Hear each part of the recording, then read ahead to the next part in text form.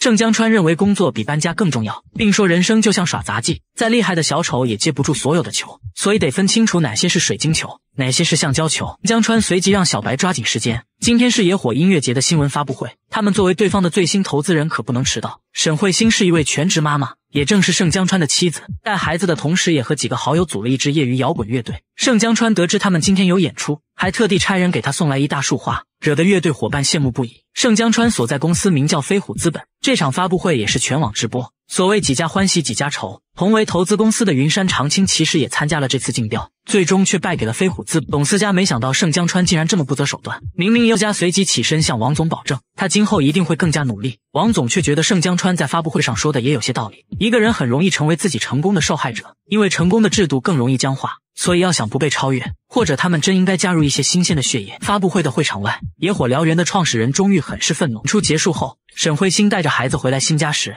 在楼下看到搬家工人不小心损坏了物，便拿出焊接工具娴熟的修了起来，还笑说自己是被爸爸带大的孩子，啥活都能干。而此时的盛江川在发布会结束后，又陪着一众同行伙伴一同喝酒吃饭。沈慧欣给他打来电话，通知新家已经搬完了，问他啥时候回去。这时，一旁的小白和他配合演了一出双簧。刚挂完电话，女儿盛唐跑来跟他告状，说小男孩彤彤抢他玩具，还不让他玩滑梯，甚至不让别的小朋友和他玩。沈慧欣见状，便拉着女儿过去和彤彤交涉。一旁站着的是彤彤妈妈蒋静，蒋静对此也很是抱歉，可儿子根本不听他劝说，甚至得知盛唐家住在二号楼时，还嘲讽他们家是小户型。沈慧欣顿时想了个办法，叫来所有孩子和他玩老鹰捉小鸡，蒋静也参与了进来。看他们玩得如此欢乐，彤彤顿时忍不住要求加入。沈慧欣趁机让他为刚才的行为给小朋友道歉，彤彤乖乖照做，还和盛唐成了好朋友。这番操作让蒋静直呼厉害，两人随即也互留了联系方式，约定以后一起下楼玩。这个男人晚上下班回家，却不知道自己家住几号楼。回来后，盛江川就开始在老婆面前自豪地说，他们这新家可是处在黄金地段。盛江川说，在金融街上班，只要一说谁住哪儿。就知道谁是哪个职位的。通勤两小时的不是实习生，就是大学刚毕业。路程四十分钟的，甭管开多好的车，那也是按月拿工资，根本没资格拿年薪。只有上班走路五分钟的人才是真牛。而他就是好男人指南，全凭一己之力带着全家实现了消费升级，使他们跃升了一个阶层。盛江川自夸完，还不忘让老婆再夸夸他。第二天一早，沈慧欣复述了他昨晚说的醉话，盛江川却矢口否认，并说这个家里里外外都是他的功劳。沈慧欣告诉他自己选择结婚在家全职带娃是自己的决定，但他不能把他的优越感在自己面前显摆，因为彼此都是平等的。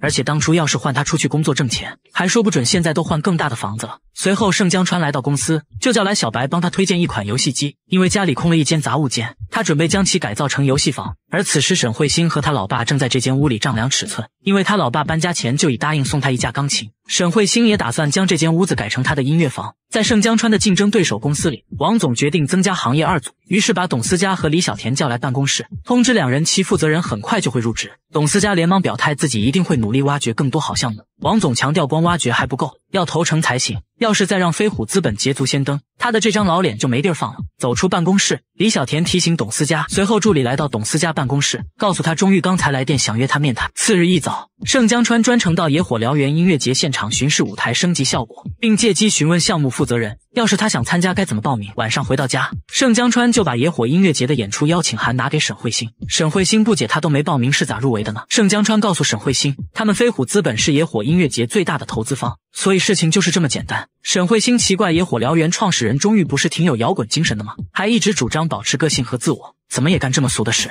一点原则都没有。盛江川见此，并未说钟玉已被踢出局，倒催促他，既然已经实现愿望，就可以把杂物间留给自己做游戏健身房了。钟玉原本创立了一家名叫野火燎原的音乐公司，不料却被资本踢出局，于是找到董思佳谈合作。虽然董思佳很认可他的个人能力以及他在音乐圈的影响力，但要重新做一个品牌不是那么容易的。毕竟成立一家新的公司，至少要几年时间才能有起色。即便做起来，也很可能错过这波风口。董思佳询问他的计划，钟玉表示野火是他创立的。虽然这次被盛江川和几个董事算计，但公司里还是有很多支持他的人，而且都是公司的核心力量和骨干。另一边，曹总递给盛江川一张创投论剑的请柬，这是创投领域最有影响力的盛典。盛江川见此激动不已。还生怕自己没有资格。曹总夸赞他针对这次野火燎原的闪电战干净利落，竟能从云山长青那虎口夺食，这对他们公司将是一个极大的提振。另一边，董思佳把和钟玉的合作汇报给王总，王总当即督促他尽快和钟玉签订合同，紧接着也递给他一份创投论剑的请柬，并告诉他可以带家属参加。到了晚上，盛江川拿出请柬在沈慧星面前显摆，沈慧星得知自己也能以家属的身份陪同出席，很是高兴。她虽然做了六年全职妈妈，但当年上大学时可也是这个专业的佼佼者。而另一边的董思佳却只是告知老公自己要出差，并未邀请他一同前往。李宇文看到放在床头的请柬，上面赫然写着欢迎携眷出席，但他并未选择追问，而是把请柬放回了原位。到了盛典现场后，沈慧星得知主办方给家属们准备的是休闲娱乐活动，并不能一同出席论坛会，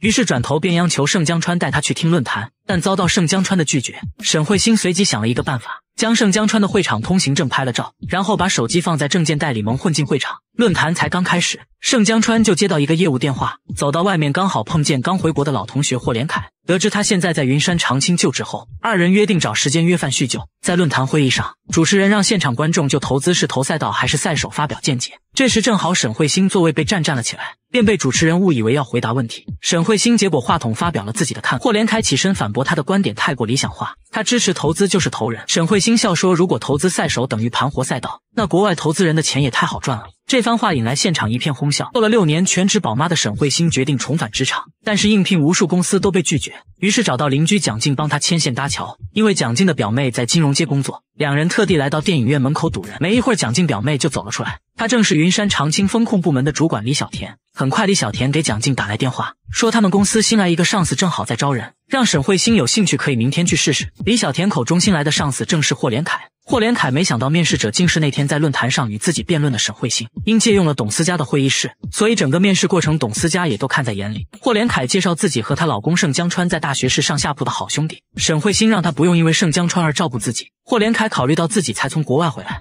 而他又六年没有涉及职场，担心两人的短板会降低工作效率。虽然说的比较委婉，但沈慧星还是听出了言外之意。一旁的董思佳却萌生了把沈慧星招进来的念头。霍连凯走后，他便交代下属去和人事部沟通，如果霍连凯那边不要沈慧星，就让他到自己部门来。出差回来的盛江川从女儿口中得知沈慧星要去对手公司上班，忍不住和她大吵了一架，说即便他想出去上班，大可找个朝九晚五的轻松工作，而且董思佳根本就不是看上他的理想与才华，只是想利用他让自己难堪而已。这话深深刺痛了沈慧星。盛江川第二天一到公司就叫来小白，让他去打听董思佳在做什么项目，从今天起要跟他势不两立。沈慧星刚去云山长青报道，就看到野火燎原的创始人终于来找董思佳，同事告诉他野火燎原已是过去式，人家现在的新公司叫怒火燎原。终于为了夺回音乐直播平台市场，计划打造一个可以和野火燎原对抗的全新音乐节，甚至连开幕时间都和野火音乐节定在同一天，可见火药味十足。而他今天来找董思佳的目的，就是想让他给自己增派人手。董思佳送钟玉出来时，交代下属到财务部门和法务部门协调人手。沈慧星说他可是野火音乐节的铁粉，他要是能去，肯定能帮上忙。还准确说出了钟玉的音乐理念。在路上，钟玉得知沈慧星是盛江川老婆，不解董思佳留用她是何意。董思佳感慨女人做事不容易，温和一点会被人质疑能力不行，强势一点又会被人诟病不择手段。他把沈慧星招进来和盛江川没半毛钱关系，就只是单纯觉得沈慧星很有思想，值得一试。这天，小区物业叫来沈慧星和其他两个孩子家长，让他们自己看下眼前这辆宾利车。只见车上除了两道醒目划痕，还有几只孩子画的猫。当沈慧星询问女儿划没划时，她说自己画了。那天，他和另外两个小朋友来车库寻找一只流浪猫，但是没找到，于是他们就在车上画了几只猫。物业建议他们一起去一趟监控室，正好车主也在，看完之后方便协商。监控拍到几个小孩子靠近车前，还在地上捡了石头，但童童却说自己并没有用石头在车上画。其他两个小孩也矢口否认。物业建议报警，让警方介入调查比较好。沈慧星考虑到孩子感受，觉得还是得先搞清楚这辆车是不是在入库之前就有划痕。旁边的保安也说，这车确实停了很久，上面还落了一层厚厚的灰，新伤还是旧伤，一眼就能看出来。而且保险公司也来确认过，我的确是新伤，应该就是这几天弄的。这几天除了三个小孩，就没有别人靠近过这辆车。李宇文叫沈慧星和蒋静到外面商量，他建议这件事不能再让孩子参与了，因为即便真是孩子干的，最终承担责任的也是他们家长。要是再和物业起争执，也有推诿的嫌疑。蒋静建议先把钱赔了。就当是给孩子买个教训。随后，三人来到车主面前，一处是八万，两处应该是十六万。沈慧星听到如此高昂的维修费，顿时愣住。紧接着，李宇文也让车主给他一个银行卡号，他用网银转过来。沈慧星来到自助取款机前，把身上所有银行卡里的钱都取了一遍，发现都还是不够，最终无奈只能刷信用卡来凑出这份赔偿金。在蒋静家里。她老公得知后并未责怪孩子。因为五万块钱对她来说根本不是个事儿。李宇文和沈慧欣坚信孩子没有撒谎，于是第二天再次来到监控室，果然找到一丝线索，前后时间都吻合，但中间四个小时的录像没有了。保安告诉他们，监控设备调试归工程部管。随后带着两人来到工程部，工作人员告诉他们，那天停车场线路检修，所以到后半夜就断了几个小时电，车库进出口的闸机也断了电。他们考虑到有业主需要进出，所以在断电之前就把抬杆给抬起来了。这意味着车子能自由出入，但闸机没有记录。沈慧欣立马通知蒋静，一起去查找停在车库口马路边的车。如果哪辆车有二十四小时的行车记录仪，就很可能拍到宾利车究竟是否出去过。果然，皇天不负有心人。真让他们给找到了带有全时记录仪的车，而且调出监控，果然发现那辆宾利车有出去过。物业得知后，立马将视频截图发给车主，车主认出开车的是他儿子。车主让物业向沈慧欣几人转达了歉意。李宇文提议把孩子带过来，让物业给孩子亲口道歉，消除误会。物业态度也很诚恳，当即表示同意。绝对想象不到这个漂亮女人有多腹黑。投资人盛江川来到他们公司考察，此时这家公司的经营已经出现问题。贺玉美却仍装作若无其事。贺玉美叫来盛江川的原因，就是想和他商量关于下轮融资的事情。他表示公司的用户增长趋势一直都很好，但最近一个月的拉新活动开始变得困难。盛江川回到公司给曹总汇报，表示自己非常看好贺玉美公司的商业模型和发展前景，而且查了团队运营状况非常好。已经有其他投资人在跟贺玉美接触，曹总相信盛江川的眼光，当即同意追加投资。可紧接着就得知贺玉美公司财务小鹏因为怀孕辞职了。小白奇怪，前两天都看到小鹏发朋友圈在喝酒，于是二人把小鹏约了出来。小鹏坦言自己确实没怀孕，只是觉得公司有问题，所以才找了个借口辞职。郑江川和小白回到公司查阅资料，发现贺玉美公司从半年前起运营成本开始飙升，虽然每一项开支都有合理的名目。但显然不符合逻辑。小白很快找到一个在贺玉美公司待过的朋友小李。小李说，他算是公司最早一批员工。当初的贺玉美确实是想做出一番成绩，也如愿拿到了他们飞虎资本的投资。不料半年前，贺玉美忽然生了一场大病，休养了一个多月后，一切都开始改变。她先是在浦江一品租了一套五百多平的顶级豪宅，每个月的租金就是十一万，而且还是走的公司账。期间还养了一个小男友凯文。后来直接将其安排进了公司，名义上是顾问，实际上连公司都不怎么来。不仅如此。贺玉美还请了一个生活助理，负责叫她起床、陪她逛街等等，开给对方的工资也是两万多。而这个生活助理就是贺玉美的闺蜜佘甜甜，今天也是贺玉美的生日，佘甜甜为她筹办了这场聚会。在聚会上，佘甜甜把一个叫森哥的中年男子叫到外面。森哥调查过贺玉美公司，在一年前拿到飞虎资本四千万的投资，而眼前这个佘甜甜听说过后，便以曾经同窗的身份刻意接近贺玉美，还故意蛊惑贺玉美要及时行乐。佘甜甜当即反驳，并说自己还是贺玉美的救命恩人，因为半年前贺玉美并不是得了什么大病，而是自杀。因为贺玉美创立这家公司并获得投资后，才发现她的商业战略有问题。虽然公司估值一个亿，但其实根本找不到稳定的盈利模式。邓江川得知贺玉美公司有问题后，便趁着他公司财务离职的空档，将自己人介绍了进来。隋志忠向盛江川保证，经过他手查的账，从没出过问题。两人殊不知，贺玉美提前在这间办公室里安装了摄像头，他们的谈话被贺玉美听得一清二楚。此时，贺玉美很是后悔，上次借活动名义挪用的四百万的公款，很可能成为突破口。而他们殊不知，这四百万已经被佘甜甜拿去澳门赌钱输掉了。所谓的放贷，只是佘甜甜为了应付他们的借口。贺玉美随即叫来佘甜甜，让他把钱拿回来，把账填平。但佘甜甜现在哪里还能拿出这么多钱？于是声称，即便把钱拿回来，也不能抹掉银行一出一入的记录。只要盛江川揪着不放，他贺玉美还是得承担法律责任去坐牢。佘甜甜劝他，不如趁着没有查出真相前逃到国外去，反正公司早就已经没救了。就在贺玉美犹豫之际，佘甜甜说，现在公司账上还有一千万，不如一不做二不休，一同挪走。果然，才到第二天。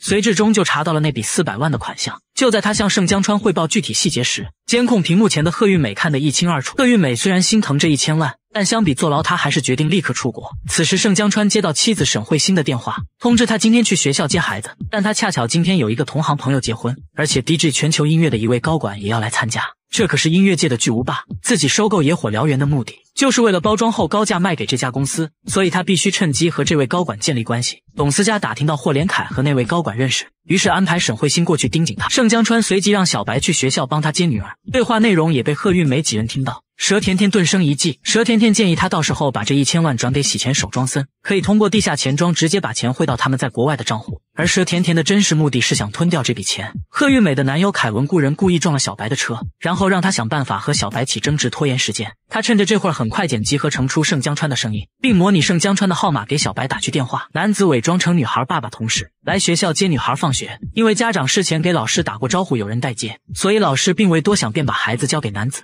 同行女子发现女孩戴了儿童手表，为了防止女孩联系家长，便哄骗给她买只新的。两人随后将女孩带到游乐场门口。然后交给另外一个女人。此时盛江川正在参加朋友婚礼，他殊不知女儿已经被其他人接走。贺玉美让男友凯文把车开到婚礼酒店楼下，然后叫来公司下属，并交给他一个任务。很快，盛江川就收到贺玉美发来的女儿视频。就在他愣神之际，一个陌生电话打了进来。贺玉美通过变声器命令他现在离开宴会厅，立刻赶到酒店五楼东侧的洗手间，并警告他不要挂断电话。如果告诉任何人，将立即撕票。盛江川跑到指定地点后，对方又让他去第三个隔间，把手机放在马桶水箱盖上。如果两分钟后他还没到达十一楼西侧的洗手间，那他就再也见不到他女儿了。盛江川为了女儿安全，只能照做。乘坐电梯来到十一楼的洗手间后，就听到有电话铃声响起。打开隔板，发现马桶盖上竟然放着女儿的手表以及一个耳机。对方告诉他，从现在起耳机不能摘，电话不能挂。等他返回五楼洗手间时，发现他放在指定地方的手机已经被人拿走了，因为和其他人说话会被监听。于是盛江川便想着通过写纸条的方式让别人报警，可殊不知他的所有行为都被人监控着。盛江川不解自己明明一句话都没说，难不成绑匪就在这个宴会厅里？而且对方为何一定要让他待在宴会厅？要想控制他，大可在楼上开个房间把他关起来呀！现在必须想办法报警。他想到当初给女儿买电话手表时，柜员告诉他这款手表可以一键报警。不料贺玉美早已更改了固定监护人的号码，她的求救信息也发到了贺玉美手机上。贺玉美再次警告他不要耍花样。如今时间已经过去一个小时，眼下只能想办法通知给老婆沈慧欣，让她去报警救孩子。盛江川悄悄拿着新郎放在桌上的手机来到洗手间，就在他准备联系沈慧欣时，对方又再一次警告他，并命令他将手机扔进马桶。但现在孩子根本没在贺玉美手上，于是他谎称为了安全起见，不能让他直接跟孩子通话，但他可以问一个他女儿才知道的问题。贺玉美没想到盛江川老婆突然出现。于是通过电话耳机警告他不要让任何人知道。郑江川的言语和肢体都在表达自己的异常，但沈慧欣就是没有察觉。恰巧这时台上司仪抽到他俩上台跟新郎新娘玩默契考验游戏，主持人让夫妻二人背对背在画板上答题。盛江川便打算趁机给沈慧欣传递信息，让他报警。游戏结束下台之后，盛江川疯狂暗示自己手里的纸团，沈慧欣却突然有事跑开了。当他再次找到沈慧欣时，便故意把女儿电话手表攥在手里。郑江川没想到他竟然没看背面，简直无语到极点。此时贺玉美已经抵达机场，公司账上的一千万一旦转出来，他将立刻卷钱出逃国外。很快手机提示申请成功，就在两人以为得逞之际，不料点击确认拨款之后，竟然自动跳转到盛江川的上级曹总手机上，需要他再做最后确认。曹总收到拨款信息后，给盛江川安排的财务打去电话，眼看事情已经捅到曹总那去了，肯定不能再用盛江川的手机操控财务。很快曹总的电话就打了过来。事已至此。贺玉梅两人也只能放弃这即将到手的一千万。此时，盛江川把最后希望放在老同学霍连凯身上，趁着给他递酒杯时，将纸团一并塞了过去。霍连凯瞬间懂起意思，连忙来到外面打开纸团。霍连凯立马拨打报警电话，随后从酒店监控里发现一名男子行踪可疑，此时正往大门走去。霍连凯连忙叫上保安，在酒店门口将男子抓个正着。此时，男子正和贺玉美通话。贺玉美两人已经坐上即将飞往美国的飞机。盛江川发现耳机已经中断通话，于是火速冲到保安室质问男子为何要绑架他女儿。男子却矢口否认。男子说他老板就是让自己在婚礼现场监视他，其他的自己什么都不知道。此时，贺玉美和凯文所乘坐的飞机已经起飞。另一边，一个女人带着盛江川女儿来到警局报案。盛江川得知消息后火速赶来，看到女儿安然无恙，终于放下心来。而带女儿来警局的这个女子，正是导演这场绑架案的主谋。曹总向盛江川等人下达任务，绝对不能错过这个风口。而在另一家投资公司里，一向不追风口的王总也很看好这个领域。但这则新闻一出，肯定会有不少同行为了追风口哄抬价格，相关公司估值也会跟着水涨船高，投资成本也会随之增加。曹总将这个项目交给了得力干将盛江川，要求他务必赶在其他公司之前跟丁平山签下投资协议。而在另一边，霍连凯以董思佳手中项目多，而且有家庭时间不充裕为由，希望王总将此项目交给自己运作。董思佳强调，国内做投资经验和人脉也很重要。王总经经过考量，还是决定交给董思佳。回到自己办公室后，霍连凯大发雷霆，说王总大早上之所以叫他来开会，肯定是打算把这项目交给他做。董思佳这女人大周末的不在家看孩子和老公，只会出来搅局。盛江川来到全景科技拜访丁平山时，他刚好送董思佳出来。丁平山表示，在当今这个时代，确实没人能够否认资本的力量。他也不排除引入对公司发展有利的战略投资者，但引入谁的投资以及资金和时机，都是属于他们公司重大决策，所以需要慎重考虑。到公司，盛江川感慨丁平山是个优秀的创业者，面对突如其来的风口和知名投资公司抛来的橄榄枝，都丝毫没被冲昏头脑。另一边，王总向董思佳询问谈判进展，董思佳评价丁平山沉稳谨慎，虽然已经谈了两次，但丁平山都始终不表态。盛江川再次来到全景科技拜访丁平山，还用动物世界给他打起比喻。创业的第一个阶段是饥不择食的老鼠，只要能吃的就吃。第二个阶段是狼，虽然处在食物链比较高的位置，但还不是真正的老大。第三个阶段是虎，可以在自己的领域里雄霸一方，但所谓一山不容二虎，如果有其他老虎进来，那就少不了一番激烈的争斗。除非能够进入第四个阶段。随后，盛江川说了一系列选择他们飞虎资本的好处和优势，但丁平山依然不表态。次日一早。一个年轻小伙出现在飞虎资本公司大厅，小白上前询问，才得知他是来找盛江川拉投资。盛江川称赞他想法非常好，好好干一定能实现梦想，谎称自己会抓紧开会研究，到时联系他。回到办公室后，盛江川却连黄金的项目书都不看，并告诉小白选项目要有眼光，不能在这种小喽啰身上浪费时间。像黄金这种说两句话脸都会红的创始人，基本都倒在了起步阶段，他们根本没必要关注。眼下重中之重是促成与丁平山公司的合作。丁平山最终也被盛江川说服，同意跟他们飞虎资本签订合同。曹总得知盛江川拿下全景科技，连连夸赞他的能力出众。然而这天周末，盛江川陪着老婆孩子来商场玩时，恰巧遇到被他打发走的黄金。盛江川谎称他递交的项目书在领导那里没通过，以后有机会再合作。黄金尽管失望，但依然热情地送了盛江川一套他们团队新研发的游戏测试版。不是不知道一试吓一跳，黄金做的这款游戏竟然比丁平山公司的更具可玩性。盛江川愣是玩了一个通宵，第二天一早就来找曹总，因为原定明天和丁平山公司签订协议，所以盛江川才如此着急找曹总商量。一旦错过黄金的魔斗科技，很可能就放走了一条大鱼。曹总决定先见见黄金。黄金虽然游戏做的不错，但口头表达实在太差，一说话就脸红，一着急还结巴。并且坦言自己并非名校毕业，所以这让曹总有些质疑盛江川的眼光。曹总投资项目习惯性偏爱名校毕业的高学历创始人，而马上签约的丁平山就是名校毕业，个人作风又比较稳健。反观这个黄金，确实差太远。盛江川说他们两家的游戏他都试过，毫不夸张的说，黄金这款游戏从内容到游戏感受，比丁平山的这款高出一大截。什么科班出身、名校毕业其实都不重要，因为最终让市场和玩家买单的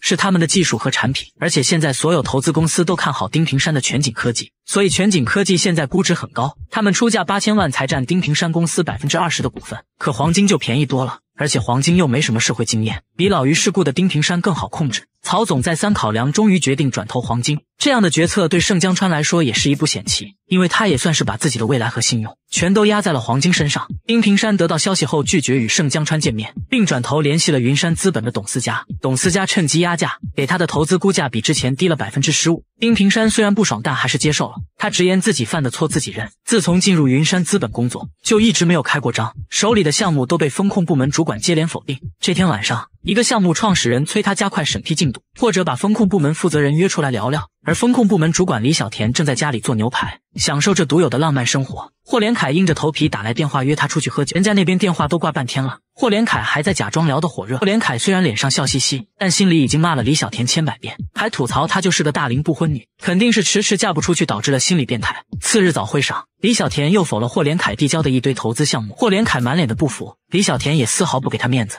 直言他交来的这几个项目，连最基本的盈利模式都找不出来，还谈什么市场？霍连凯与他争辩了几个回合后，坐在 C 位的王总当场拍板，没有好的项目就先不投了。然而更惨的是，昨天晚上那个项目投资人离他而去，来找董思佳拉投资，而且还把他吐槽李小田的那些话添油加醋了一番。李小田知道这些留言后，气愤不已，斥骂霍连凯业务不行就算了，人品竟然也不行。李小田不解霍连凯哪里来的自信，直接冲进霍连凯的部门会议室，宣布他上周递交过去的八个项目一律不通过，并让他再好好看看公司审核要求，那些不符合标准的项目就不要再交了。李小田撂下狠话便离开了。霍连凯越想越气，追到他办公室质问他为何要到会议室砸场子。李小田纠正他的措辞，表示这是属于正常的沟通。如果他递交的项目依旧没有质量，那可能就要去王总面前说道说道了。霍连凯认为这是打他小报告。几天过后的例会上，李小田当众指出，霍连凯的项目虽然较之前有进步，但还是不能通过。霍连凯暴跳如雷，要不是王总在场，他非得手撕了李小田不可。但李小田不紧不慢地说送他一句阿拉伯谚语。紧接着，王总宣布散会。此时，霍连凯的肺都差点气炸。过了好些天，才稍微缓过气来，然后又开始琢磨对付李小田的办法。毕竟，再没项目通过的话，整个部门都得去喝西北风了。这个女人虽然在家做了六年全职太太，但其业务能力仍然在线。这才入职没多久。就从实习工位搬到了正式员工的工位上，领导让他尽快熟悉项目流程，这却引来隔壁同事李莎的嫉妒。李莎每天上班几乎不干正事，不是在看视频，就是在加装自己的购物车。下了班却和大家一起故作努力加班，因为要回去照看女儿。已经完成当天工作的沈慧星只好悄悄溜了。没一会儿，李莎见严雨涵路过沈慧星工位时，故意找她签字。果然，严雨涵问起沈慧星。那天，霍连凯邀请李小田下班到他们部门开个讲座。董思佳得知后，立刻通知自己部门的人一起去会议室参加培训。见沈慧星没在工位上，李莎又告状说沈慧星天天一到六点半就准时走人，坐她旁边都不用代表。第二天一早。董思佳就把沈慧星叫来办公室，质问他每天准时下班的原因。沈慧星解释自己是做完工作才下班的。沈慧星万般无奈之下，只好给好友蒋静打电话，麻烦他下午先帮自己照看女儿。挂断电话后，沈慧星就来到李莎面前，好不容易熬到下班，沈慧星就马不停蹄赶来蒋静家里接孩子。蒋静知道他肯定还没吃晚饭，于是提前给他留了热菜。两人说起职场的加班文化，沈慧星表示合理的加班他是可以接受的。蒋静说打小报告这种人职场上到处都是，本来进了职场就不会有自由了，谁付工资谁就是大爷。第二天一早，董思佳生气李莎组把他要求的全国市场调查数据做成全省的了。李莎解释自己加班加太晚了，因为是自己一个人做，所以才忙中出了错。董思佳问起沈慧星，李莎当然不会放过这个状告沈慧星的机会，说沈慧星每天都以出去尽调为借口提前走了。他出去后。严雨涵也附和说：“董总对沈慧欣太纵容了，应该直接告诉他不加班就走人。”下午下班后，沈慧欣刚关电脑要走，严雨涵走出来宣布，即日起所有员工出去尽调，不管到几点，都要回公司打卡，否则就按早推处理。沈慧欣见状，只好坐下来耗时间。不一会儿，阿姨就打电话急着要走。沈慧欣随即想了一个办法，把包放在工位上，佯装是去洗手间。李莎见状，故意大声提醒沈慧欣，不敢乘坐电梯离开，只好选择走楼梯。她仔细计算过，从公司跑回家只需五分钟，然后再过一个小时，孩子爸爸就能回来，接着再五分钟回到公司。只要安排好女儿，要求她几点下班都无所谓了。沈慧星没办法，只能借口上厕所。然后花五分钟跑回家接管孩子，等到老公盛江川回来接手后，再去公司打卡。领导董思佳气愤的拿着项目书来到李莎工位前，质问他连错别字都不检查的吗？很快盛江川出差回来，沈慧欣根本来不及解释，就穿鞋往公司跑。等他跑到公司时，已经大汗淋漓。李莎又盯上了他，追问他怎么出了这么多汗。沈慧欣谎称卫生间空调坏了。李莎告诉他们组今天交上去的市场报告又出问题了，董总要求今天必须改完，否则都别回家。紧接着严雨涵出来通知沈慧欣，董总让他去一趟办公是。沈慧星来到办公室后，董思佳就询问他刚刚干啥去了。他坦言自己刚刚回家了，但是今天的工作自己都是按时完成的。那份市场报告的数据和错别字也全都改了的，只不过是李莎提交错了版本，对的版本刚刚已经发到了他邮箱。董思佳质问他提交报告的时候人在哪里，为何不及时纠正同事的错误？沈慧星解释自己不是不能加班，周二和周四让他加班都可以，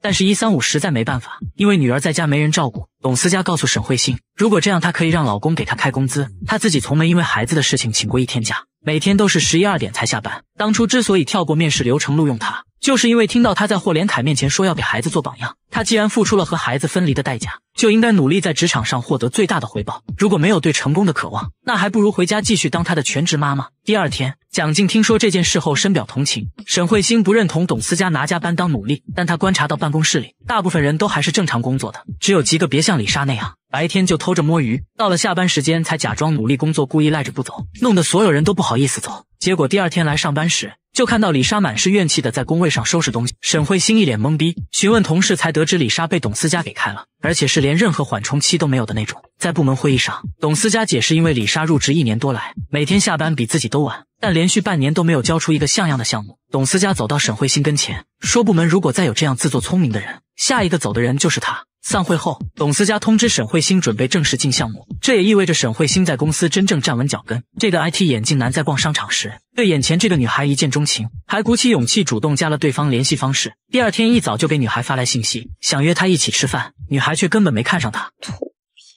随后，在全网直播的野火音乐节发布会上，盛江川趁此机会让黄金上台宣传他们公司。恰巧女孩佘甜甜在乘坐电梯时看到了这场直播，佘甜甜连忙回家打开电脑搜索魔豆科技，发现这家公司竟然获得了飞虎资本的投资。佘甜甜顿时来了兴趣，查到魔豆科技公司地址后，她第二天一早就故意等在黄金公司门口，与他制造偶遇。黄金见他，顿时两眼放光，大步跑上前。佘甜甜谎称自己第一次面试有些紧张，说眼看面试时间也快到了，自己都还没找到那家公司位置。果然，黄金主动提出陪他去找，两人就这样开始建立联系。没过两天，佘甜甜就到公司来找黄金。佘甜甜表示自己这次过来是想特地感谢他那天对自己的鼓励，还专门做了两份便当。周围同事们一片起哄，黄金也羞红了脸，因为之前黄金发给他的消息都没回复过，于是借口说自己不小心把手机弄丢了，导致没有收到他发的信息。黄金想约他下午一起玩自己研发的 VR 游戏，他谎称下午还要上班，于是黄金又约他明天见面。专做放贷的庄森回来后，第一时间就把佘甜甜约了出来，并拿出一张八十五万的借条催他还钱。庄森说自己回澳门就是为了处理这件事。这家赌场因为经营不善，飘在外面的债务太多，做不下去，所以就卖给他们公司了，还把债权债务一并转给了他们。庄森太过了解佘甜甜，要是黄金身上没有油水可捞，打死他都不会跟那种人在一起。而且猜到他肯定有自己的计划，紧接着提醒他，今年赌场业普遍不景气，所以今年清收欠款的力度空前，很多大公司都已经找出一帮要账的在路上了。汪森催促他在黄金那边得提提速了。佘甜甜转头就买了宵夜让黄金分给同事们，紧接着又在黄金办公室陪他加班。黄金感动的说：“从没有女孩对他这么好过，他感觉很幸福。”恰巧这时蛇甜甜接了一个电话，还故意打开免提让黄金听到。对方自称是他妈妈的朋友张颖，说他妈妈在国外犯了心脏病，现在在医院需要马上做手术，急需一百多万的治疗费用。蛇甜甜一听就急哭了。黄金顿时心疼的不行。转正第一天，领导就将本周收到的厚厚一堆商业计划书交给他审核，要求他认真看完并写出评估报告。如果其中有独角兽没被发现，就是他的失职。沈慧星筛选过后，便开始接触创始人，不料遇到的全是形形色色的奇葩。其中一个因项目没被选中，甚至要去跳楼，幸好保安出面才平息了事。中午吃饭时，沈慧星忍不住向李小田吐槽。李小田告诉他，有一种创业人叫创业演员，开公司就为了骗投资人的钱，所以他们风控部门才有存在的价值。没过两天。沈慧星又在众多商业计划书里找到一家专做纺织面料的公司。董思佳看了计划书后，认为这个项目不错，而且投资体量也不太大，随即安排他先去这家公司实际考察一下，然后给他一份详细的报告。沈慧星认为年龄不是问题，只要有梦想，什么时候开始都不晚。董思佳差点气晕过去，告诉他创业需要的是精力、体力和专注力，六十多岁连想象力都快没了，并提醒他以后汇报项目之前，先说清楚创业者的基本情况。霍连凯晚上给盛江川编排他老婆准备投资三个老头，这件事承包了他们公司一整天的笑点。盛江川指出沈慧星整天倒腾这些扯淡的项目，养活自己都够呛，更别说养孩子了。霍连凯告诉他，董思佳因为这事骂了沈慧星，沈慧星应该会放手了。盛江川苦笑，他若能听进去，就不是沈慧星了。果然如盛江川所说，沈慧星晚上回到家都还在研究这个项目，把董思佳的话全都当耳旁风。在次日例会上汇报项目审核情况时，沈慧星又说起那三大爷，董思佳都不想理他，但他不肯放弃，甚至追来洗手间找董思佳争取这个项目。沈慧星追到办公室，希望董思佳不要搞年龄歧视。董思佳受不了他纠缠，便把他推给了风控部门主管李小田。李小田听沈慧星汇报了三个创始人年龄后，与董思佳意见一致，认为这种夕阳红项目根本没有投资价值。沈慧星不达目的不罢休，从茶水间追到办公室，再从办公室追到餐厅，一直黏住李李小田，不停的游说，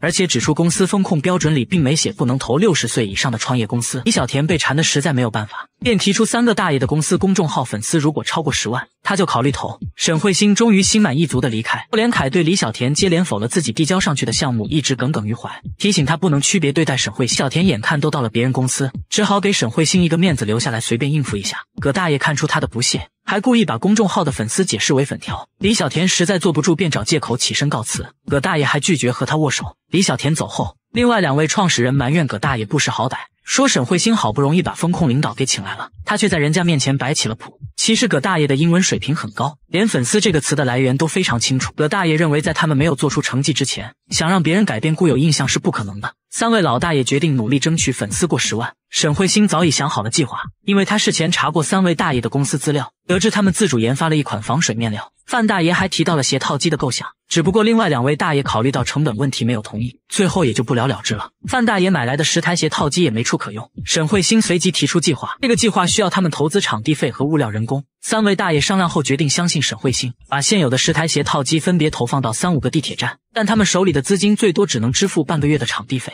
沈慧星坚信这个多雨季节在半个月内一定会下雨。很快，沈慧星就联系好了场地，三大爷也把物料准备妥当，马上就可以入场。在茶水间和同事唠嗑时，沈慧星都不忘让同事关注三大爷公司的公众号。可接下来的几天都毫无要下雨的征兆，眼看场地费快到期了，沈慧星很是担心没帮到三位大爷，还让人家白白浪费一笔钱。但是皇天不负有心人，这天快下班时，外面突然电闪雷鸣，没一会儿就下起暴雨。同事们都懊恼这雨下的不是时候，沈慧星却站在窗前默默祈祷这雨一定要坚持到晚高峰。下班之后，沈慧星就马不停蹄赶来地铁口帮忙，鞋套很快就被路人领完。老大爷们冒雨搬来新货增援，他们激动的告诉沈慧星，现在公众号粉丝数量猛然暴涨，后台都差点崩溃了。沈慧星次日一早就找到李小田，李小田没想到他们竟然真做到了。但这项目从风控角度考虑确实不该投，但答应的事也必须兑现，于是便将此项目上报给了王总。但没想到王总从朋友口中听说了沈慧星利用鞋套击涨粉这件事，于是决定给三大爷的公司投资两百万。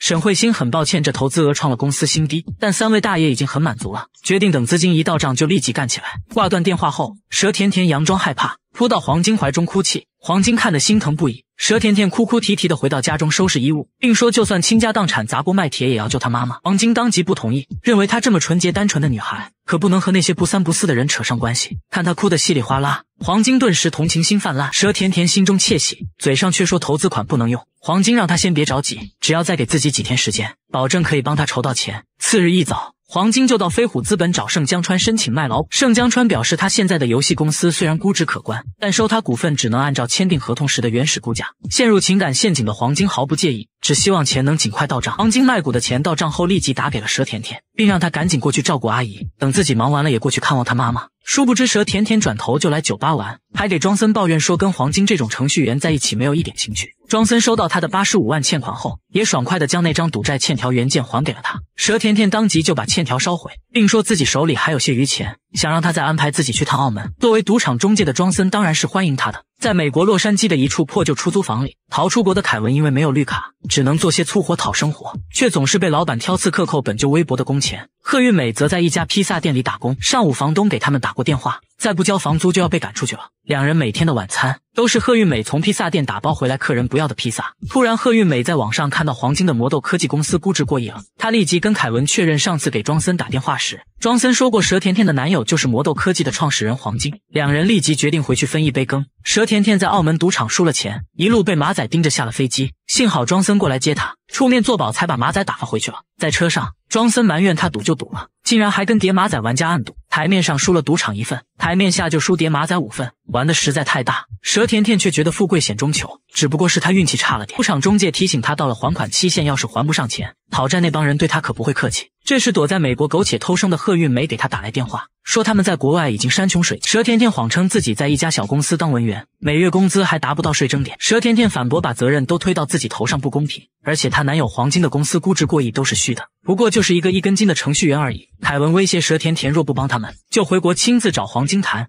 佘甜甜连忙提醒他们还在被通缉，回来是自投罗网，并谎称会尽快想办法帮他们搞到钱。挂断电话后，贺玉美埋怨凯文不该对佘甜甜摊牌。如果佘甜甜换了手机号失联，对他们也没好处。即使真把实情告诉黄金，佘甜甜也会反咬他们勒索不成，污蔑他。另一边，佘甜甜则气愤自己都没钱，这两蠢货又来逼债。庄森提醒他最好不要把对方逼急了，还是要在黄金身上下功夫。而佘甜甜早已想好找黄金要钱的办法。到了晚上，佘甜甜就来办公室找黄金，娇滴滴的说她母亲已经做完手术，自己因为太想她，所以提前回来了。黄金也迫不及待倾诉对她的思念。佘甜甜见状，又开始编造自己的家事，说她母亲在老家开了一个山庄。随后，黄金送她回家，刚从电梯里出来，就遇到两个男子拦在蛇甜甜的家门口。蛇甜甜佯装一脸懵逼，其中一男子拿出一张假欠条，威胁她尽快还债。回到家后，蛇甜甜就到卧室哭诉着给母亲打电话，扯着嗓门埋怨母亲不该为了山庄去借高利贷。挂了电话后，佘甜甜告诉黄金，她想回家陪母亲渡过难关，也许三五年都不会回来了，还佯装心痛的提出分手。黄金急得手足无措，决定再卖掉自己公司百分之十五的股份，帮助佘甜甜。佘甜甜听了，哭得泣不成声，还承诺要让母亲把山庄的控股权给她。单纯的黄金为此还安慰她好半天。在外面出差的盛江川得知黄金又想卖老股，便提醒他，一旦卖了这百分之十五的股权，他们飞虎资本就是魔豆科技最大的股东，他也将失去控股权权。憨厚的黄金声称自己最大的梦想就是和佘甜甜白头偕老。盛江川建议他最好还是去佘甜甜家里看看。黄金又卖掉手中一部分股份，让他拿去帮他母亲还债。在去往他老家的路上，黄金还拍了照片晒到朋友圈。随后来到佘甜甜母亲开的山庄里，佘甜甜母亲对他分外热情。不胜酒力的黄金很快就喝得不省人事。正在出差的盛江川看到他的朋友圈后，发现拍照地点是离自己不远的一个山里。而此时在山庄里的一个房间里，为了感谢他干妈的帮忙，佘甜甜答应这票干成了，他们就一起去澳门痛痛快快玩两天。不料干妈却告诉他，这个山庄其实早就歇业关门了，因为他欠了不少赌债。所以就把山庄抵给了债主庄森。庄森现在正在四处联系人，把山庄卖了变现。另一边，沈慧星接到一个新能源汽车的项目，便计划租个新能源汽车，亲自测试一下电池的续航能力，还可以顺便把女儿接回来。盛江川得知他要过来后，就开始计划一起带着女儿出去玩。正好黄金给他打来视频电话，极力邀请他带上老婆孩子来山庄里玩。盛江川决定明天过来。佘甜甜得知后，连忙找她干妈商量对策，决定把服务员全都换了，免得谁说漏了嘴。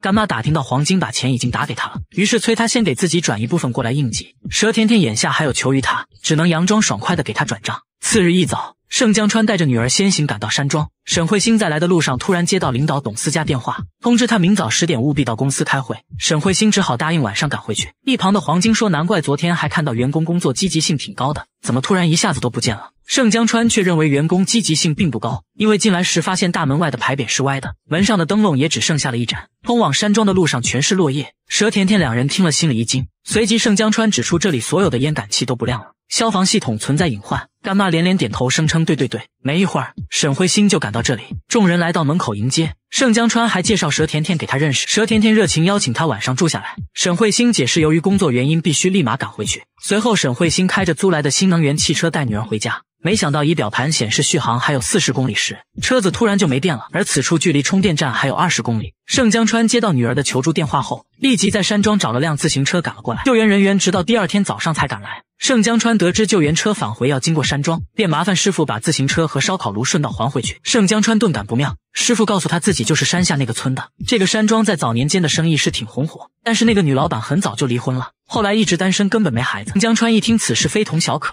怀疑黄金被佘甜甜给骗了，于是立马给上次处理女儿绑架案的刑警官打去电话，想请他帮忙核实蛇甜甜的住址和母亲信息。此时的山庄里，黄金和蛇甜甜刚从山上看完日出回来。这时蛇甜甜收到一条信息，脸色突变，于是连忙叫来干妈。蛇甜甜提议他们先去澳门避避风头，等到没事之后再回来。甜平很后悔被他卷进来，但蛇甜甜提醒这件事他可是分了钱的，到时候查下来他也是诈骗共犯。甜平担心在楼上睡觉的黄金醒来发现他们人不见了报警。蛇甜甜思考片刻后，蛇甜甜决定给黄金吃安眠药，让他在山庄睡两天，到时候他们肯定早就已经到澳门了。盛江川在赶来山庄的路上，把手机递给沈慧星，让她给邢警官发个短信，先汇报一下这边的情况，让他方便时候回个电话过来。来到山庄后，盛江川给黄金打去电话，显示关机，紧接着看到黄金的书包放在一旁，里面还有黄金的电脑。盛江川知道黄金无论走哪都不会落下电脑，于是断定黄金肯定没走。等他们在二楼房间找到黄金时，他睡得很沉，根本叫不醒。这时邢警官打来电话，说根据他们警方目前掌握的情况来看，佘甜甜的老家并不在这里，母亲也不叫甜萍。盛江川得此消息，直接向他报案。随后邢警官告诉他，贺运美和凯文用假身份回国，在机场被人脸识别系统发现。在审讯过程中，发现针对他女儿的那起绑架案中，佘甜甜也有重大作案嫌疑。很快，警方找到赌场中介庄森，并对他进行口头传唤。随后，黄金在医院醒来，盛江川告诉他，佘甜甜通过地下钱庄已经把钱转到了境外，他给佘甜甜的那些钱可能都要不回来了。此时，黄金心疼的却不是钱，而是想当面问佘甜甜为何骗自己。一位大龄单身女正在偷偷追星小鲜肉，李小田叫住霍连凯，指责他偷窥别人隐私太没素质。虽然霍连凯对他表现出鄙视。但为了自己手里的项目能在他手上通过，于是找熟人朋友给他拿到一张火星少男的演唱会门票。李小田脸色不屑，心里却乐开了花，还坚持要给他转钱。霍连凯见状，让他亲自给自己做牛排。李小田只答应请他下馆子。就在他以为两人关系稍有缓和时，却听到沈慧星拿着一个三大爷的项目在他手里过审了。于是气冲冲的来到他办公室。霍连凯质问他们风控部门的审核标准到底是什么。李小田解释，三大爷的项目能过审确实奇葩，按照他一贯的审核标准肯定是过不了。但霍连凯根本不听他的敷衍，直接将之前一摞被他避过的项目摆在办公桌上。李小田接着解释，沈慧星的项目是王总拍板的。霍连凯气愤，当初在项目会上，他也和沈慧星一样坚持自己看好的项目，可怎么就没人说是个好项目呢？连三大爷的夕阳红都敢投，为何没人愿意给自己说句抱歉？霍连凯失控的情绪让李小田有些意外，他咆哮完便径直离开了办公室。李小田无意看到霍连凯夹在项目书里的投资笔记，于是决定将他这些项目认真的再次审核一遍。随后，李小田把笔记本拿到办公室还给他，并邀请他晚上到自己家亲自给他下厨。晚上两人正吃着饭闲聊时，李小田老妈打来视频电话。接通视频后，妈妈要看他今天都吃了些啥。霍连凯见状，赶紧躲到一边，却还是被妈妈看出端倪。两人的默契配合总算是糊弄了过去。随后，他老妈便开启了猛烈的催婚攻势，说给他介绍了一个男朋友，让他抽空去见一下。李小田碍于霍连凯在旁边，只好尴尬的敷衍着妈妈，答应会去见面。匆忙挂了电话后，李小田便向霍连凯吐槽父母催婚的问题。霍连凯深以为然，说自己妈妈也总打电话催自己买房子，可自己才刚回国不久，这上海的房价岂是说买就买得起的？搞得好像现在所有男人没套房子就不健全了似的，结个婚就得倾家荡产。在这点上，两人观点挺一致。李小田不甘自贬身份沦为大龄女青年。霍连凯不甘成为人肉提款机，李小田好奇他到底有没有真正爱过一个人。霍连凯斩钉截铁地说没有，也没准儿。连连称赞他酿的这米酒好喝，真不错。心情郁闷的他一杯接着一杯。李小田鼓励他在工作上得像自己酿酒一样，要不断的投入精力和时间，不能一蹴而就。结果没一会儿，两人都喝得有些微醺，兴奋的并坐在地毯上亲密交谈。霍连凯凑到李小田跟前，悄悄问他是不是喜欢自己。霍连凯说他要不是喜欢自己，肯定就听他老妈的话去相亲那个一米九的猛男了。李小田表示他在结婚这件事上绝不能妥协。说着说着，突然委屈的哭了起来。霍连凯借着酒意，举起一盆薄荷单膝跪地向他表白。随后两人在酒精的作用下度过了一夜。次日一早醒来，嘴角还有口红印的霍连凯就发现自己躺在李小田床上。此时李小田还在睡梦中，懵逼中的他只能侧过身子祈祷这不是真实的。结果一张摆放在床头柜上的写真照直接将他拉回现实。为了避免尴尬，于是悄悄起身穿好衣服准备开溜。就在这时，李小田也醒了过来。李小田也是懵逼状态，随后来到客厅，两人的交谈无比客气，房间里充斥着浓烈的尴尬。两人对昨晚的放纵心知肚明，却又只字未提。霍连凯见状，借口自己有个会要开，便先溜了。出门那一刻。李小田才长舒一口气，门外的霍连凯心里也似乎在想些什么。回到公司后，霍连凯想给李小田道歉，却开不了口，在办公室里录了好几遍道歉视频都不满。几天过后，霍连凯见李小田没来上班，询问同事才得知他生病了，于是谎称出去见客户，然后买了药给李小田送来家里。在他家楼下刚停好车，就看见沈慧星从他家出来，趁着给他送药的机会，霍连凯支吾着说他们现在总这样别扭着，感觉特别不舒服。那天晚上的事他们不该回避，并坦言自己不是不想负责，而是偶然听到他给沈慧星说的话，知道他不不想要男朋友，所以自己也不能因为这件事就逼他做自己女朋友。李小田苦笑说：“这样相处的确太尴尬，就当什么都没有发生过。”霍连凯希望彼此还能做好朋友。李小田哽咽着说：“试试吧。”霍连凯借用洗手间，李小田终于忍不住流了泪。不料霍连凯在洗手间意外发现了两条杠的验孕棒，于是立马冲出洗手间。我看见了那个棒。面对霍连凯的追问，李小田慌乱的掩饰着不让他乱猜。霍连凯想着怀孕得一两个月才能验出来，他俩干活的时间似乎对不上，便断定是沈慧星怀孕了。李小田一听全乱套了，但又不想坦白自己怀孕的事实，于是央求他赶紧离开，并叮嘱他这件事谁也不能说。结果霍连凯转头就把沈慧星怀孕的事情告诉给了他的老公盛江川。报军情的霍连凯还帮他分析说，肯定是他老婆不想要这孩子，因为这段时间盛江川和老婆的关系紧张，也不好当面追问老婆。于是当天下班后就主动去买了家里的生活用品。不仅如此，他还贴心的在沈慧星床头放了杯睡前热牛奶，这让沈慧星心里暖暖的。第二天，李小田到医院等候做检查时，看到旁边别的孕妇被老公小心翼翼的陪着，眼中满是羡慕，不禁想起霍连凯曾说过。随后医生叫到他的号，医生看了他的资料后，提醒他一般过了三十五周岁，临床上就会定义为高危人士，并建议他尽早做决定，最好不要超过九周。沈慧欣下班发现盛江川什么都不让他做，还主动承担起了陪伴孩子和做饭洗碗的所有家务，这让她真有点不太适应。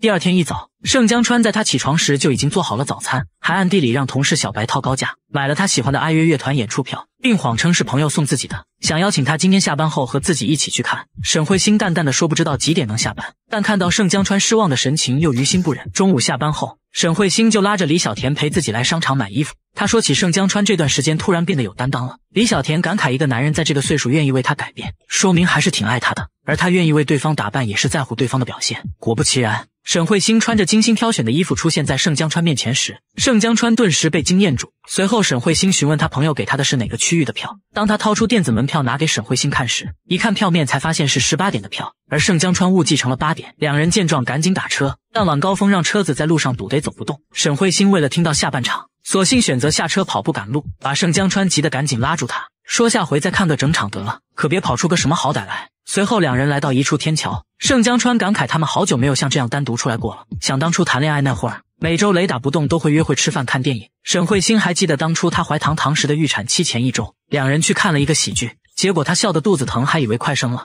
然后盛江川打车赶紧把她送到医院。到了医院门口，大喊大叫，火急火燎的找轮椅找医生。没想到检查结果竟是胃胀气，还被门口保安追着问刚刚咋回事。人趁着老公洗澡的功夫，偷偷翻看他的公文包，只见里面放有两张机票。紧接着打开老公手机，发现他与一个陌生女子联系密切，而且聊天内容十分暧昧。待老公洗完澡出来后，可没过几天，她发现老公又跟另外一个女人聊得火热，对方是个职场女性，这样的女人相比之前那些女孩更有杀伤力。蒋静发现陆维斌每次出差都带着那个女人，而且不止一次带着出席饭局。他身边的朋友甚至都管那个女人叫小嫂子。沈慧欣问他准备怎么解决，蒋静觉得自己没有证据，只能忍着，而且现在问老公也不会承认，这让沈慧欣一时也不知该怎么安慰他。隔天晚上。蒋静让表妹李小田帮她照看下孩子，因为陆维斌自称一个人去厦门出差，但他用小号关注的那个女人今天下午也到了厦门，而且他查了厦门的这个项目和那个女人公司没有丝毫关系。蒋静让他们放心，笑说自己都已经把老公当老板伺候这么多年了，是不会冲动的。蒋静到厦门后，在老公陆维斌入住的酒店大厅堵住了他和那个同行的女。陆维斌解释那个女人是临时过来的。到房间后，蒋静索要他的手机查询最近的信息，陆维斌当即不干。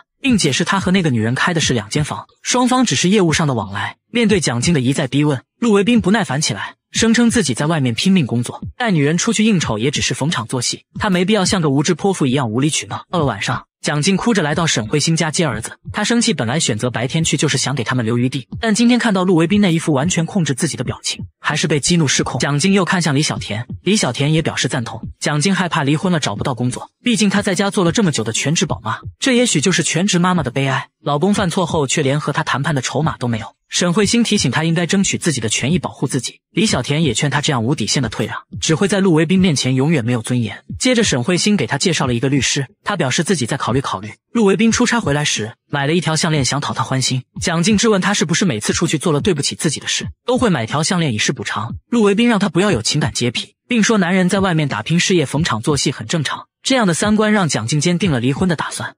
蒋静对他彻底失望，萌生离婚的念头，于是咨询律师关于离婚分割财产的问题。律师看过他的婚前协议后，得知他当初签协议时并未请律师，而且这份协议是陆维斌说在朋友那随便找的一个模板。律师告诉他，陆维斌是早有准备，因为这份协议书并不是什么制式模板，而是一份非常专业的合同，堪称滴水不漏。以他专业判断，这份协议书肯定出自顶级大律师之手，而且是为陆维斌量身打造的。协议里面的条款已经最大限度地保证了陆维斌的所有权益，而对他则非常苛刻。蒋静这才明白，陆维斌从结婚起就开始算计他，眼下可以争取的只有婚后财产。律师表示他会去调查陆维斌目前的财产状况，并叮嘱蒋静先不要当面对陆维斌提离婚的事，以防他提前转移财产。当天晚上，陆维斌在飞虎资本公司参加庆功宴，曹总把他介绍给盛江川，两人随后通过曹总才得知，竟然住在一个小区，而且他们的太太还是闺蜜关系。陆维斌心里一惊，于是马上叮嘱盛江川。回到家后，陆维斌就指责蒋静演技不错，蒋静不明所以，他便放出了那天李宇文来家里教他做菜的监控视频，斥责他跟别的男人暧昧。被冤枉的蒋静反驳他血口喷人，他们只是陪孩子在一起玩，根本就不是他想的这么卑鄙无耻。紧接着，陆维斌又放出他在家里偷偷翻自己行李箱，偷看自己手机通讯录和聊天记录的视频画面。蒋静跪在地上，情绪崩溃。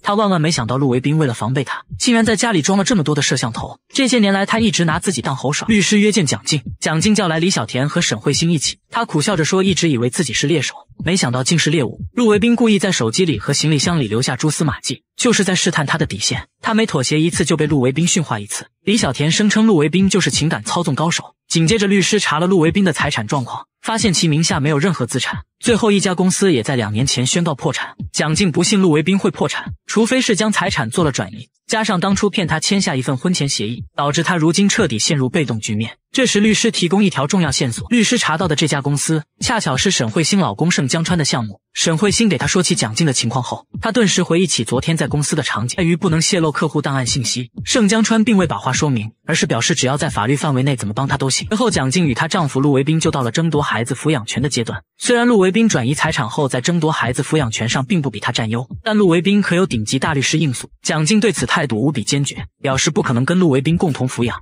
不料，在他提出要孩子完整抚养权时，陆维斌竟爽快答应，并承诺会每月支付相应赡养费。这天，在曹总组的局上，陆维斌说起关于离婚争夺孩子抚养权的事。陆维斌说，他最近新交了女朋友，自己要是带个孩子就不方便了。以后等到儿子生活能自理了，就把他送到国外去。待学成归来，还不是得回到自己这个亲生父亲身边？盛江川看到他这副丑陋嘴脸，忍不了了。晚上回家就告诉沈慧欣，帮陆维斌代持股份的人叫鸿飞，让他转告给蒋静律师，赶紧去查。次日，刘律师告诉蒋静，鸿飞已经出国了。陆维斌不但有好律师，还有好财务。他从结婚起就已经准备好了一切，完全没有给他留下一丝能赢的机会。蒋静只能苦笑着说：“还好有儿子是属于他的。”在他搬出这个家的最后一晚，陆维斌还在他的伤口上撒盐，声称。今后这个房子的女主人无论换成谁，待遇都不会比他高。两人的对话被躲在墙角的儿子听了去，他只能伤心的在黑暗角落里悄悄流泪。这天，沈慧星在路上看到蒋静在找中介看房子，于是连忙跟了上去，才得知蒋静打算搬出来住了。他以一个大大的拥抱恭喜蒋静重获新生。搬家这天，李小田也赶来帮忙，他担心房子太小，孩子住不习惯。这时，蒋静儿子走过来告诉妈妈：“咱们不要爸爸的钱，也能住大房子。”蒋静感动的眼里泛起泪花，一把抱住儿子，并鼓励他娘俩一起努力。他也准备重返职场寻找工作。沈慧欣和李小田建议他做内容创业，因为这既不需要资金投入，又能兼顾孩子，非常适合现在的他。李小田告诉他资料都在自己办公桌上，让他去算一下参会人员，然后人手打印一份。不料助理却将他放在桌上的一张孕检单也拿去打印了。到了会议上，意外便发生了。众人一看就诊人竟是李小田，甚至一度怀疑是和他同名同姓。这时李小田立马反应过来。慌乱起身，收回了所有人手中的报告单，并尴尬的解释是自己拿错资料了。但是已至此，大家也都心照不宣。霍连凯更是心里一惊，此事迅速在公司传开，闹得沸沸扬扬。并抄单的截图也被发在了公司群里，所有人都好奇孩子生父是谁。散会后，霍连凯的马仔就跑到他办公室八卦这件事。上下班后，霍连凯来他家找他，他却不想开门面对。霍连凯说：“王总派自己明天出差，现在他这情况，自己似乎不太适合走。”李小田声称自己不会拖累他，也不需要他的关心，而且自己也不打算要这孩子。盛江川得知此事后，便劝他，要是喜欢李小田，就把人家娶了。霍连凯却觉得他和李小田都是不婚主义，这样会遭人耻笑。此时李小田也无比纠结要不要这个孩子，确实也有部分原因是不想放弃这份工作，因为看到职场妈太累了，对他来说就是种束缚。沈慧欣告诉他。虽然自己也没有平衡好工作和家庭，但从没后悔生女儿，因为孩子带给一个家庭的幸福和快乐是无法用言语表达的，只有自己体验了才能明白。接着便劝他不要轻易做任何糊涂的决定。霍连凯出差这段时间给李小田打了无数电话，但他都没接，于是待出差回来便冲到他家来。李小田称奉子成婚这种事他们都干不出来。霍连凯回去想了很久，再次来到他家。霍连凯把自己所有银行卡都摆到他面前。说他们都是伪单身主义，既渴望爱情又恐惧婚姻，既渴望家庭又恐惧孩子。但他看到盛江川和沈慧欣后，觉得也许婚姻也没那么可怕，只要彼此三观一致，就没什么是不能解决的。你这是向我求婚吗？嗯，看着霍连凯仍是一副犹豫的表情，李小田随即逐一收起桌子上的银行卡，让霍连凯拿回去，声称这不是他想要的。就在他起身准备离开时，我们结婚了，我想娶你。李小田终于等到了他这句话。三个老大爷合伙开了一家纺织公司，沈慧星好不容易帮他们拉来两百万投资，不料才没过多久，就有人在他们对面开了一家同样的公司，甚至几乎挖走了他们的所有技术员，而原因就是为了一款新型面料。对方得知他们研发的这款面料还未申请专利，所以才动了歪心眼，想把这项技术据为己有。激动的和葛大爷争论自己一个人也能搞研发，顿时三人吵得不可开交。沈慧星得知他们的技术人员没签保密协议。于是连忙劝他们抓紧时间打探下对面公司情况。崔大爷带着他到对面公司楼下蹲守，等候当初他招进来、现在在对面上班的技术员。小伙刚出公司就被崔大爷逮个正着。三人随即来到一家咖啡厅。崔大爷表示自己找他既不是兴师问罪，也不是向他打听什么商业机密，而是希望能从一个离职员工角度了解自己公司到底存在哪些问题。小伙直言自己不单单是因为钱才跳的槽。范大爷的专业水平虽然过硬，但对他们要求过于苛刻。技术部很多同事都有意见，而且公司没有奋斗目标，干多干少好像都一样。时间久了，大家都没了干劲。反观现在的公司，却承诺给他们干股和分红，还有定期团建和奖金。小伙听说之前的投资人嫌他们三位大爷年龄太大，所以如果能拿到三大爷的核心技术，他们可能会转投年轻创业者的公司。接下来的几天时间里，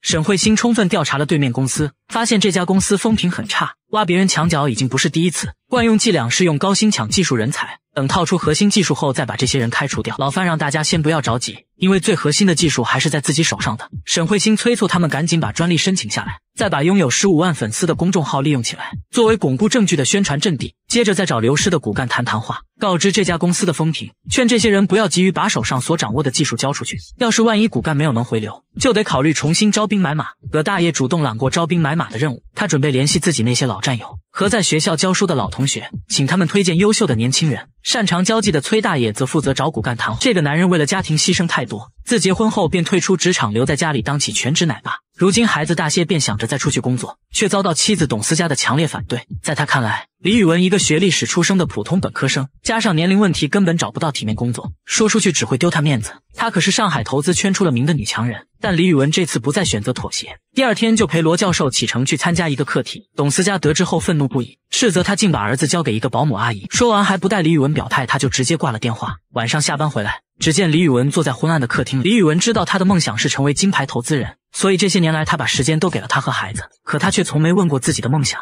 在他眼里，自己除了老公这个身份外，好像就不配拥有独立的人格。董思佳这天晚上给儿子读睡前故事时，看到书里加了一张展览会门票。儿子说不止他和爸爸去的，还有彤彤和他妈妈静静阿姨。等儿子睡着后，他来到客厅问起李宇文。李宇文直言蒋静就是同小区另一个孩子的妈妈，平时经常在楼下一起玩，就请钱。董思佳说他爸腰上长了骨刺，他爸妈准备来上海医院检查一下。第二天一早，李宇文就到车站接岳父岳母，然后开车直接带岳父到医院，并提前挂好了专家号。做完所有检查后，董思佳父母准备明天回去了。董爸很感激这次看病排队挂号检查取药，多亏女婿的帮忙。董妈则觉得女儿在外面忙着挣钱更不容易。这话让门外送药的李宇文正好听到，顿时心里更加不是滋味。这天早上，董思佳无意中看到李宇文手机上接到了蒋静的信息，于是吃饭时故意问起他们今天有什么活动。儿子说今天社区要做手工曲奇，他已经和彤彤约好了，彤彤妈妈也要和他们一起，这让董思佳有了强烈的危机感，于是来到正在找他拉投资的自媒体公司，想把李宇文介绍进来工作。借此避免他和蒋静日久生情。晚上，李宇文告诉董思佳，他看了这家公司发布在公众号上的所有文章，发现根本就和历史不沾边，而且一派胡言的误导读者。董思佳强调，娱乐价值也是价值，在这家公司工作，每月的广告收入就比他之前的出版社高出数倍。而且老板看了他的履历和文章都非常满意，答应给他文学总监的位置。但这却不是李宇文所追求的。全职奶爸李宇文重返职场。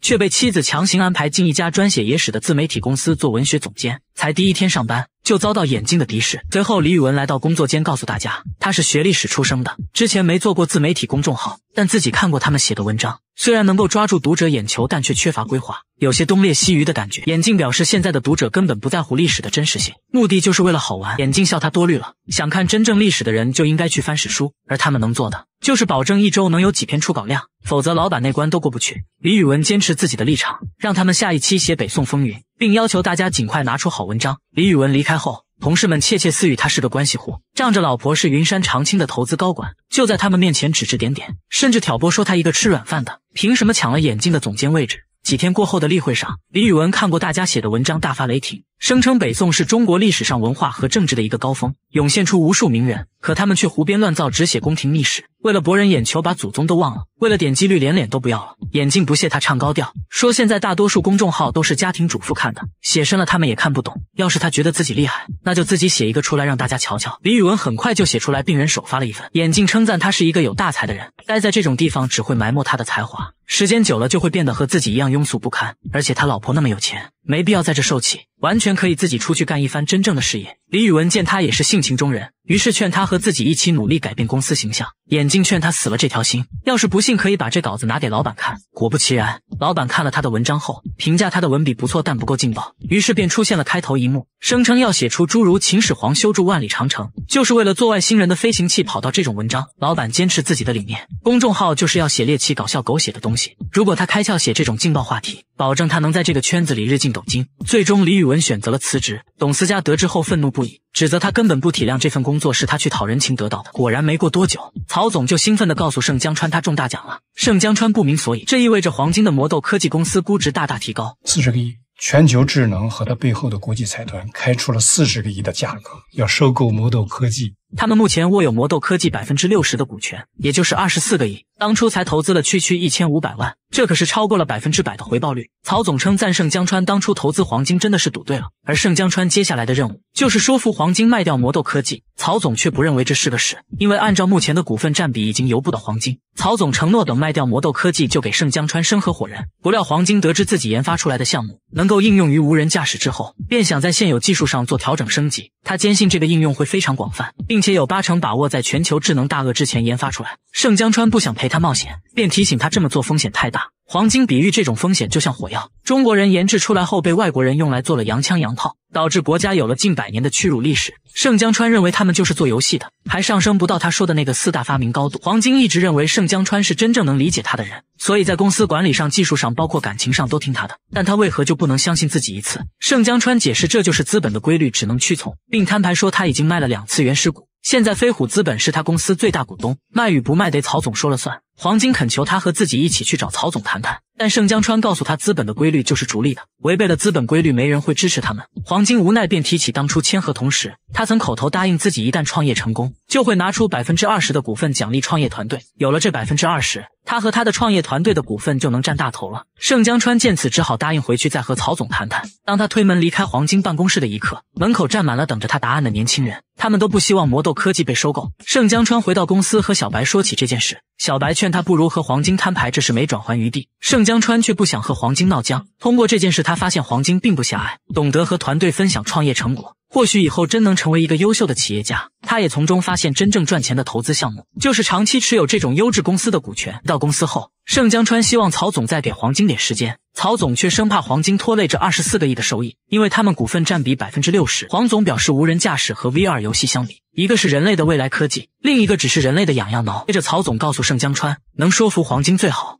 说服不了也无所谓，因为黄金没有选择的权利。几天过后，盛江川再次找到曹总，说黄金的坚持也有他的道理。VR 技术不会仅仅停留在游戏或者无人驾驶里，很有可能会向更高更强的人工智能领域发展。如果他们选择支持黄金，未来也许会得到更丰厚的回报。曹总明确表示，他不可能放弃二十四个亿的收益。曹总警告盛江川，不管他和黄金私交如何，他都是飞虎资本的投资人，而且马上就要升任合伙人，必须时刻记住自己身后就是资本，顺应资本就是王。反之就是寇。小白不解盛江川在纠结什么，毕竟他们这一路都是这样走的。创始人不听话就换个听话的上去就能解决问题。盛江川回想起这些年来，自己一直都是按照曹总的打法投了不少项目，回报确实不错，但真正伟大的企业一家都没有。都说现在是投资人最好的时代，而他却在最好的时代干着倒买倒卖的事。是不是辜负了自己，也辜负了时代呢？几天过后，盛江川又收到曹总发来的语音，要求他如果还没搞定黄金，就速战速决。盛江川决定不再妥协，于是让妻子沈慧欣去找黄金，通过云山长青的投资来优化股权结构，达到制约目前最大股东的目的。他认为沈慧欣更适合做黄金的投资人，这也符合飞虎资本的利益最大化。唯一的问题就是没法说服曹总。次日一早，沈慧欣以云山长青投资人的身份和黄金来到飞虎资本。黄金以魔豆科技创始人和 CEO 的身份，正式向曹总提议引入云山长青的投资，然后由三方共同拿出股份的百分之二十，用以兑现奖励创业团队的承诺。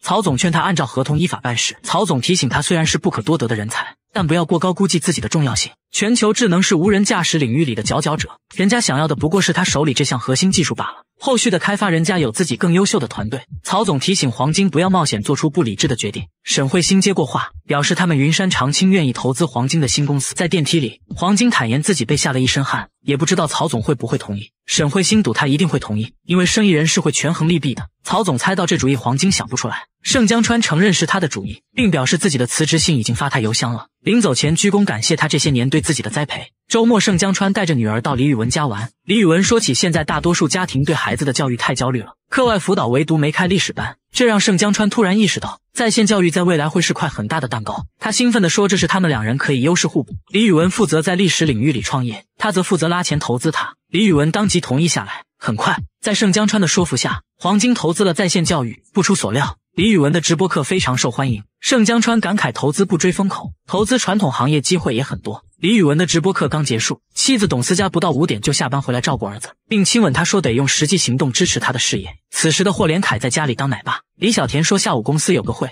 嘱咐霍连凯把宝宝照顾好。还故意只和孩子吻别。蒋静和儿子又搬回了以前的小区，虽然是租的最低楼层的小户型，但儿子已经很满足了，并向妈妈保证自己以后一定会赚钱，让她住回原来的大房子。在盛江川和沈慧欣孩子的生日会上，所有人都来了，他们的故事也要告一段落了。虽然这部剧到最后也没有说明家庭和事业到底该如何平衡，但他们都明白，在未来的路上，夫妻两人一定要共同承担家庭责任，一起陪伴孩子成长。当你在职场拼搏或是在家庭中挣扎的时候，感到焦虑和恐慌都是正常的。但是工作不是生活的全部，家庭也不是，所以唯有追寻自己内心的声音，才能找到属于自己的生活节奏。